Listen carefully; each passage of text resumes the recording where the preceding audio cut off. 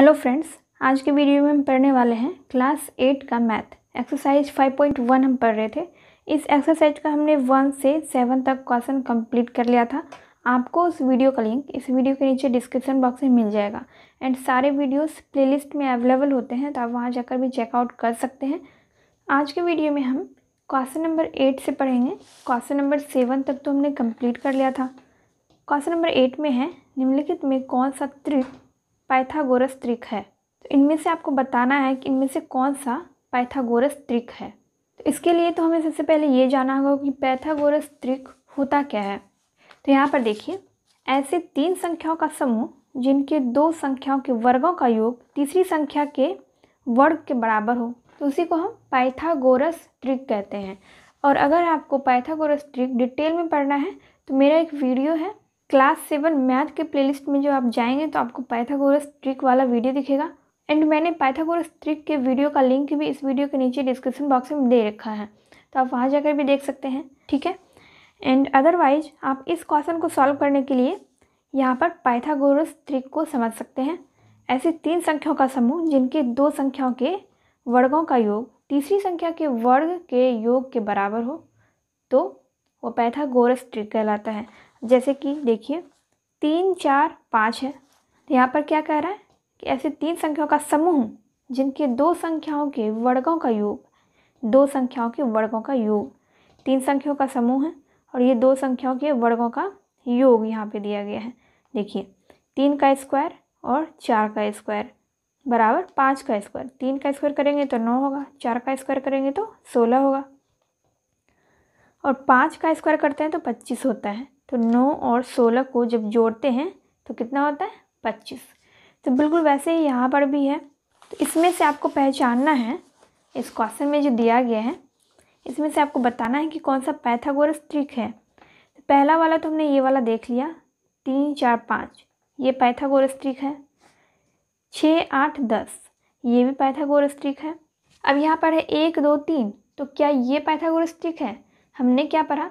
कि जब तीन संख्याओं का समूह रहता है और दो संख्याओं के वर्गों का योग तीसरी संख्या के वर्ग के बराबर हो तो वो पैथागोरस ट्रिक होता है। अब यहाँ पर देखिए, एक का स्क्वायर करेंगे तो एक होगा, दो का स्क्वायर करेंगे तो चार होगा।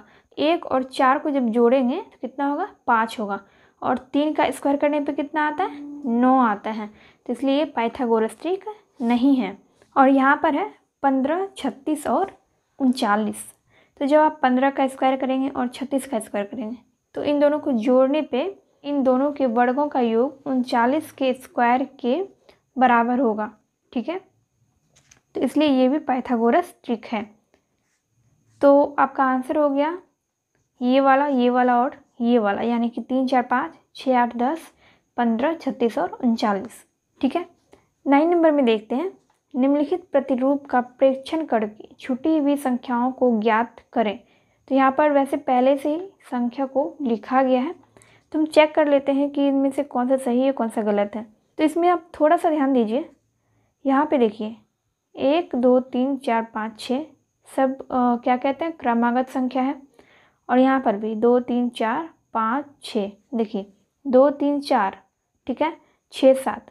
तो अगर ये कुछ यहाँ पर नहीं दिया रहता तो फिर भी आप अंदाज़ा लगा सकते थे कि ये सभी क्रमागत संख्या है। तो जब यहाँ पे दो है, दो के बाद तीन है, तीन के बाद चार है तो चार के बाद क्या हो जाएगा? पाँच हो जाएगा। तो ये बिल्कुल सही है। तो यहाँ पे क्या किया गया है? एक गुना दो। एक गुना दो करने से दो हो गया। दो गुना तीन करने से छः हो गया। तीन गुना चार। तीन गुना चार बारह हुआ। तो यहाँ पे चार गुना पाँच कितना हो जाएगा? बीस हो जाएगा। तो ये भी बिल्कुल सही है। पाँच गुना छः करने से कितना होगा? तीस होगा। छः गुना सात करने से कितना होगा? बयालीस होगा। अब इसको देखिए यहाँ पे। ये जो लास्ट वाला है, जो बराबर के बाद है, देखिए। दो के बाद तीन है, छः के बाद सात है। मतलब यहाँ पर जो है, उसका एक अंक यहाँ पे बढ़ा दिया गया है। यहाँ पे दो है तो यहाँ पे तीन, यहाँ पे छः है तो यहाँ पे सात, यहाँ पे है कितना? बारह। बारह है तो यहाँ पे तेरह बीस है तो इक्कीस, तीस है तो इकतीस, बयालीस है तो तैतालीस। ठीक है? तो ये हो गया आपका। अब दस नंबर में है। विषम संख्याओं के क्रमिक घटाव की क्रिया द्वारा निम्नलिखित संख्याओं की जाँच करें कि कौन सी संख्या पूर्ण वर्ग संख्या है। वैसे तो पूर्ण वर्ग संख्या ये सभी संख्याएँ हैं। ठीक है? जैसे कि इक्यासी को देखिए। कोई विषम वर्ग संख्या है तो कोई सम वर्ग संख्या है, लेकिन पूर्ण वर्ग इनमें से सब है। इक्यासी देखिए, ये नौ का वर्ग है। नौ गुना नौ करेंगे तो इक्यासी होगा? ग्यारह गुना ग्यारह करेंगे तो एक सौ इक्कीस होगा। बारह गुना बारह करेंगे तो एक सौ चौवालीस होगा और छः गुना छः करेंगे तो छत्तीस हो जाएगा, ठीक है? तो ये दोनों हो गया आपका विषम वर्ग संख्या और ये वाला हो गया आपका सम वर्ग संख्या। बारह का स्क्वायर है और छः का स्क्वायर है। तो बारह और छः क्या होता है? सम संख्या होता है। नौ और ग्यारह क्या होता है? विषम संख्या होता है। तो इसलिए ये दोनों हो गया विषम वर्ग संख्या और ये दोनों समवर्ग संख्या। लेकिन हमें यहाँ पे ये पूछ रहा है कि क्रमिक घटाव की क्रिया द्वारा निम्नलिखित संख्याओं की जाँच करें। तो चलिए हम लोग जान लेते हैं कि क्रमिक घटाव होता क्या है। देखिए, क्रमिक घटाव क्या होता है? हम फ़र्स्ट नंबर क्वेश्चन का देख रहे हैं, ठीक है? एक मैं आपको बता देती हूँ, आप बाकी सब खुद से बना सकते हैं। एक हम एग्ज़ाम्पल लेके देख लेते हैं। जैसे देखिए, इक्यासी है। तो इक्यासी में आप क्या करेंगे? एक माइनस करेंगे। अस्सी होगा। मतलब हमें लगातार विषम संख्याओं को माइनस करते जाना है। और जब तक ज़ीरो ना आए, तब तक हमें माइनस करना है। ठीक है? जैसे कि इक्यासी में एक घटाएँगे तो अस्सी होगा। फिर अस्सी में से तीन घटाएँगे, सतहत्तर होगा।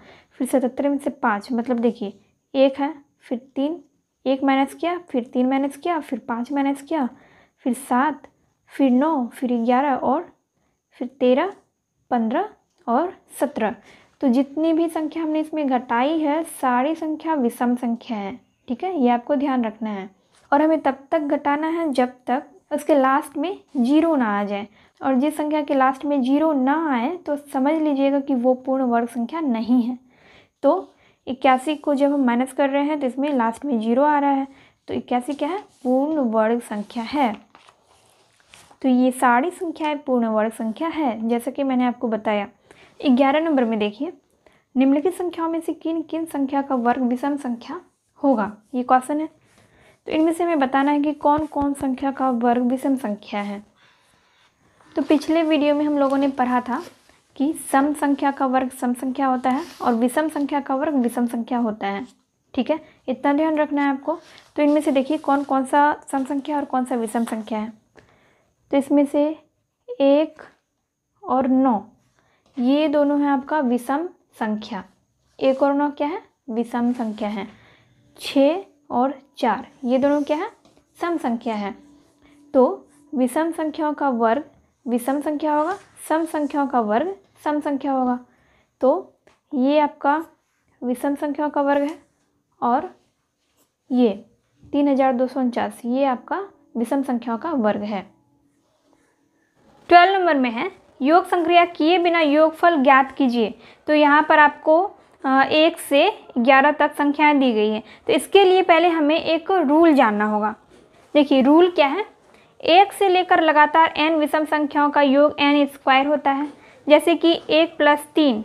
एक प्लस तीन यानी कि एन का संख्या कितना है? दो है एक, दो। तो दो का स्क्वायर, दो का स्क्वायर कितना हो गया? चार। फिर एक से पाँच। एक प्लस तीन प्लस पाँच है। तो यहाँ पे तीन अंक है तो तीन का स्क्वायर करेंगे, तीन का स्क्वायर करने पे नौ होगा, और इसी तरह से यहाँ पे एक प्लस तीन प्लस पाँच प्लस सात है। तो एन का संख्या यहाँ पे हो गया चार तो चार का स्क्वायर करेंगे तो सोलह हो जाएगा, और यहाँ पे है एक प्लस तीन प्लस पाँच प्लस सात प्लस नौ। तो यहाँ पे एन का संख्या कितना हो गया? पाँच हो गया तो पाँच का स्क्वायर करेंगे तो पच्चीस हो जाएगा। इसी तरह से हम कर सकते हैं, एक प्लस तीन प्लस पाँच प्लस सात प्लस नौ प्लस ग्यारह, ठीक है? तो यहाँ पे एन का संख्या कितना हो जाएगा? एक, दो, तीन, चार, पाँच छः छः हो जाएगा तो छः का स्क्वायर कर देंगे छः का स्क्वायर हो जाएगा छत्तीस। तो इसी तरह से आपको ट्वेल्व नंबर का क्वेश्चन बनाना है। तो यहाँ पर भी है, एक से ग्यारह तक, एक प्लस तीन प्लस पाँच प्लस सात प्लस नौ प्लस ग्यारह। तो छः है यहाँ पे, एक, दो, तीन, चार, पाँच छः तो यहाँ पर हम लिखेंगे, इसका होता है एन स्क्वायर तो एन है छः छः का स्क्वायर करेंगे तो छत्तीस हो जाएगा, ठीक है? तो ये हो गया आपका आंसर। फिर इसके बाद है एक प्लस तीन प्लस पाँच प्लस इक्यावन। मतलब एक से इक्यावन तक लगातार विषम संख्याओं का योग निकालना है। इसमें थोड़ा सा अलग आपको करना होगा। देखिए, इक्यावन का क्या करेंगे? इक्यावन में हम दो से भाग देंगे। इक्यावन में जब हम दो से भाग देते हैं तो तो आपका पच्चीस दशमलव कुछ आएगा, ठीक है? लेकिन हमें पच्चीस ही लिखना है। दशमलव वाले को हमें छोड़ देना है, सिर्फ़ हमें पच्चीस लिखना है। पच्चीस में हमें क्या करना है? एक को जोड़ देना है। पच्चीस और एक कितना हो गया? छब्बीस हो गया। तो छब्बीस का हमें स्क्वायर कर देना है। छब्बीस का स्क्वायर करने का क्या मतलब हुआ? छब्बीस गुना छब्बीस करना है। तो इसको गुना करने के बाद, यानी कि जब हम इसका स्क्वायर निकालेंगे तो जितना भी आएगा, वो हमारा आंसर हो जाएगा। तो जब आप छब्बीस का स्क्वायर करेंगे तो आपका आएगा छः सौ छः सौ छिहत्तर आ जाएगा, ठीक है? तो ये आपका एक आंसर हो गया और ये एक आंसर। यानी कि फ़र्स्ट नंबर का आंसर हो गया आपका छत्तीस और सेकेंड नंबर का हो गया आपका छः सौ छिहत्तर। अब है एक प्लस तीन प्लस पाँच प्लस सात और लगातार एक सौ एक तक है। तो यहाँ पर भी हमें ऐसे ही करना है जैसे हमने यहाँ पे किया। देखिए, एक सौ एक बट्टा दो करेंगे और एक सौ एक में जब हम दो से भाग देंगे तो हमारा आएगा पचास दशमलव कुछ आएगा। तो पचास को हमें सिर्फ़ लेना है, पचास में हमें एक जोड़ देना है, पचास प्लस एक, इक्यावन हो गया। इक्यावन का फिर हमें स्क्वायर करना है, इक्यावन का स्क्वायर करेंगे तो हमारा आ जाएगा दो हज़ार छः सौ एक आएगा, ठीक है? तो ये आपका हो गया तीसरे नंबर का आंसर थर्ड नंबर का आंसर हो गया आपका दो हज़ार छः सौ एक। ये आपका दूसरा नंबर हो गया, ये पहला नंबर हो गया और ये वाला तीसरा नंबर का। चलिए अब देखते हैं फोर नंबर का कैसे बनेगा। फोर नंबर में आपका सात प्लस नौ प्लस ग्यारह प्लस तेरह। तेरह से लगातार इक्कीस तक विषम संख्याओं का योग निकालना है। तो तो एक से इक्कीस तक में कितनी विषम संख्याएँ आती हैं? हम यहाँ पर लिख के पता लगाते हैं। आप बिना लिखे भी पता लगा सकते हैं कि इसमें एक से इक्कीस तक में कितनी विषम संख्याएँ हैं। एक के बाद तीन होगा, तीन के बाद पाँच, सात, नौ, ग्यारह, पंद्रह, उन्नीस और इक्कीस। तो इस तरह से आपका टोटल हो जाएगा ग्यारह विषम संख्या ठीक है? ग्यारह विषम संख्या होगा तो हम ग्यारह का क्या करेंगे? स्क्वायर कर देंगे। तो ग्यारह का स्क्वायर करेंगे तो आपका हो जाएगा एक सौ इक्कीस, ठीक है? एक सौ इक्कीस होगा लेकिन 121 आपका निकल गया। एक से 21 तक लगातार विषम संख्याओं का योग। लेकिन हमें निकालना है सात से 21 तक। यहाँ पे सात से स्टार्ट है, ठीक है? हम जो रूल जानते हैं, उसमें हम एक से लगातार विषम संख्याओं का योग निकालते हैं, लेकिन यहाँ पर सात से दिया गया है। तो अब हम यहाँ पे क्या करेंगे कि सात तक जितनी भी विषम संख्या है, उसका वर्ग हम इसमें घटा देंगे। जैसे कि देखिए, एक एक प्लस दो प्लस तीन प्लस चार प्लस पाँच प्लस छ प्लस सात। तो यहाँ पे कितनी विषम संख्या है? एक, दो, तीन। सात तो यहाँ पे है ही। क्वेश्चन में तो सात है ही तो इसीलिए हम इसको हट, नहीं हटाएँगे। तो एक से सात तक में आपका तीन विषम संख्या हो गया। तो कितना लिखेंगे हम? तीन विषम संख्या है तो इसीलिए तीन का स्क्वायर, तीन का स्क्वायर हो जाएगा नौ। तो एक सौ इक्कीस में से हम नौ को माइनस कर देंगे। ग्यारह में नौ जाएगा आपका तो यहाँ पे दो हो जाएगा, और यहाँ पे हो जाएगा एक, और ये एक, यानी कि एक सौ बारह आपका आंसर हो गया फोर नंबर का, ठीक है? आई होप आपको ये क्वेश्चन समझ में आ गया होगा। पहले हमने एक से इक्कीस तक का विषम संख्या का योग निकाला, फिर उसमें से हमने एक से सात तक में जितनी विषम संख्याएँ आती है, उसको हमने माइनस कर दिया। तो हमारा आंसर आ गया। चलिए नेक्स्ट क्वेश्चन देखते हैं। नेक्स्ट क्वेश्चन है हमारा। निम्नलिखित संख्याओं के वर्गों के इकाई के अंक क्या होंगे? तो हम कैसे पता लगाएँगे कि इन संख्याओं के वर्गों के इकाई अंक क्या होंगे? तो यहाँ पे देखिए 25 है तो इसके इकाई अंक का हम वर्ग करेंगे, ठीक है? देखिए, पाँच है तो हम पाँच का वर्ग करेंगे, पाँच गुना पाँच, कितना हो जाएगा? पच्चीस। तो पच्चीस के लास्ट में क्या है? पाँच है। तो जब हम 25 का स्क्वायर करेंगे तो उसके लास्ट में भी पाँच होगा। तो इसका आंसर फ़र्स्ट नंबर का आंसर हो गया आपका पाँच, ठीक है? इसी तरह से आपको सारे क्वेश्चन को बनाना है। जैसे कि सेकेंड नंबर में है चौंसठ तो हमें चार का स्क्वायर करना है। चार का स्क्वायर करेंगे तो सोलह होगा। और सोलह के लास्ट में क्या है? छः है। तो जब हम चौंसठ का स्क्वायर करेंगे तो उसके लास्ट में भी सोलह ही आएगा। तो सेकेंड नंबर का आपका हो गया आंसर छः। फिर तीसरे नंबर में इसके इकाई का अंक हो जाएगा। दो का स्क्वायर करेंगे तो चार होगा। तो जब हम दो सौ बहत्तर का स्क्वायर करेंगे, उसके लास्ट में भी चार ही आएगा। और बाकी के क्वेश्चन में भी वैसे ही करते जाएँगे। नौ का स्क्वायर करेंगे तो इक्यासी होगा और इक्यासी के लास्ट में क्या है? एक है। तो इसके लास्ट में भी जब इसका वर्ग करेंगे तो इसके लास्ट में भी एक ही आएगा। पाँच हज़ार चार सौ तेईस है। तो तीन का स्क्वायर करेंगे। तो तीन का स्क्वायर करने पे नौ होगा। फिर यहाँ पे सात है लास्ट में सात है, सात का स्क्वायर करेंगे। सात गुना सात तो उनचास होगा। तो इसके, उनचास के लास्ट में है नौ। तो जब इसका स्क्वायर करेंगे तो इसके लास्ट में भी नौ ही होगा। फिर है पाँच हज़ार चार सौ अड़तीस तो आठ का स्क्वायर करेंगे तो आठ गुना आठ। आठ का स्क्वायर तो आठ का स्क्वायर हो जाएगा चौंसठ। चौंसठ के लास्ट में है चार। तो इसके वर्ड के लास्ट में भी चार ही होगा। फिर यहाँ पे है ज़ीरो। तो ज़ीरो है तो ज़ीरो का स्क्वायर करेंगे तो कितना होगा? ज़ीरो ही होगा। फिर यहाँ पर छः है तो छः का स्क्वायर करेंगे, छः का स्क्वायर करेंगे तो आपका हो जाएगा छत्तीस। छत्तीस होगा तो छत्तीस के लास्ट में है छः तो इसका आंसर हो गया छः।